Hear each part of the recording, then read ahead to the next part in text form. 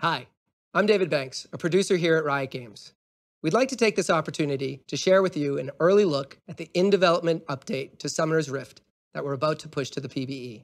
We're not finished yet, and we'll keep you updated on the team's hard work in the months to come. But right now, let's show you where we're headed.